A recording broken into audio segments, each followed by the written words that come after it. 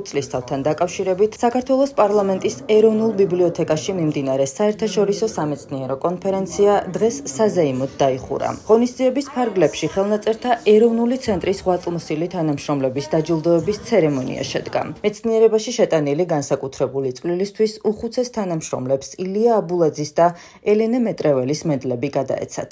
10 ივნისი არის ხელნაწერთა ეროვნული ცენტრის დაარსების დღე, მაშინ დაარსდა როგორც ხელნაწერთა ინსტიტუტი. ჩვენს ინსტიტუტში დღემდე მუშაობენ იმ პერიოდის მეცნიერები, რომლებიც პრაქტიკულად ილია ბოლაძესთან ერთად თანადამაარსებლები არიან ხელნაწერთა ინსტიტუტისა. ისინი დღესაც აქტიურად მუშაობენ, დღესაც აქტიურად იკვლევენ ქართულ ხელნაწერებს და ჩვენ აი დღევანდელ დღეს, რომელიც 65 წლის თავს ეძღვნება ჩვენი ცენტრისა.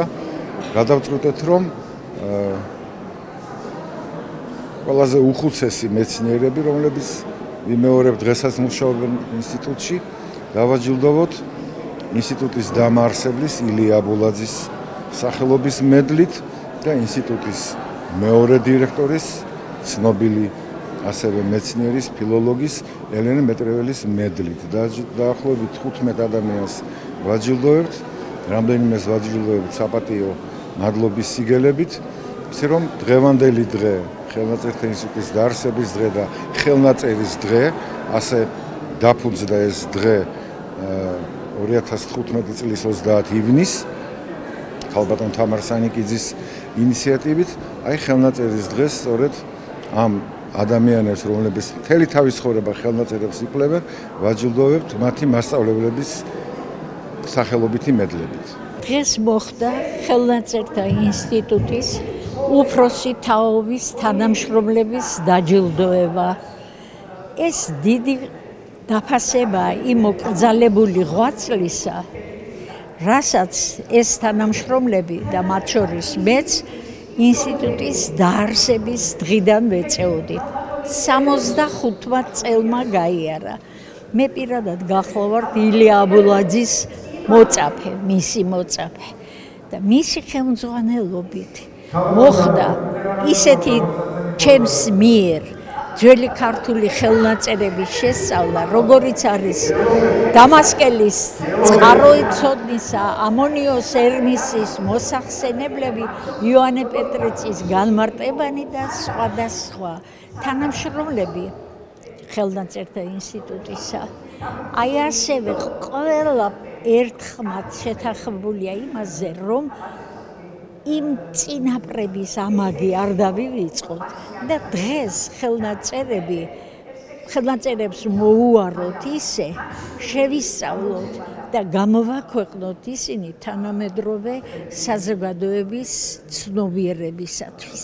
დიდი მადლობელი ვართ ამ მოკრძალებული ღვაწლის დაფასებისათვის. მე სრულიად არ მოველოდი რომ გავახსენდებოდი ვინმეს და თან ასეთ არაჩვეულებრივ იმას ჯილდოს მომწევდნენ როგორც ესე იგი ხელნაწერთა ინსტიტუტის არათანამშრომლის რომელიც ფაქტიურად გაიზარდა ხელნაწერთა ინსტიტუტში პირველი კურსიდან მოყოლებული და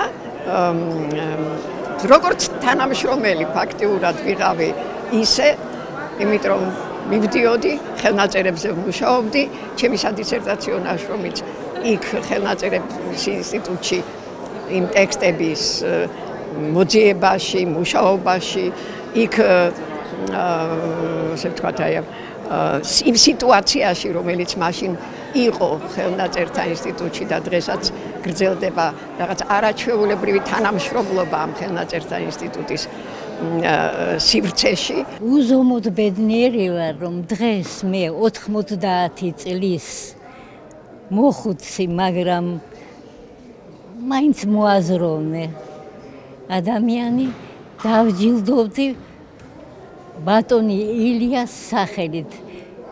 იმ ადამიანის სახელით, რომელთანაც დაკავშირებულია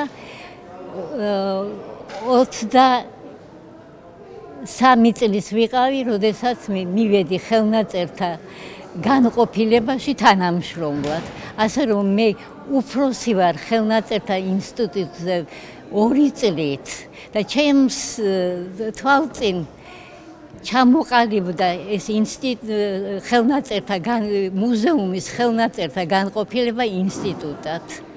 ეს იყო ადამიანების ხელნაწერების და მათზე ზრუნვის არაჩვეულებრივი სიმბიოზი.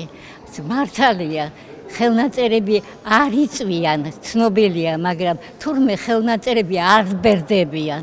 ეხლანდელი თანამშრომლები ეხლა სულ ახალ-ახალ იდეებსა და თემებს იღებენ იმ თითქოს 1000ჯერ გადამუშავებელი უძველესი ხელნაწერებიდან.